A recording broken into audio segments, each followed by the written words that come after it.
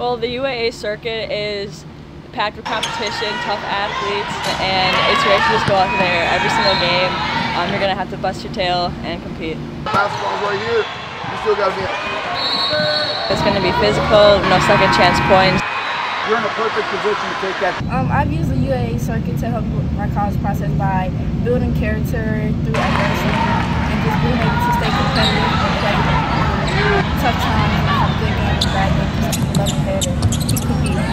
Once we, uh, you know, went with Under Armour, uh, I think it opened a lot of eyes for college coaches, for everyone on our team, uh, because it's putting us on a bigger stage and platform that is known across the country. And I definitely couldn't have, you know, got to that point in my life uh, without Under Armour and the program that I'm with.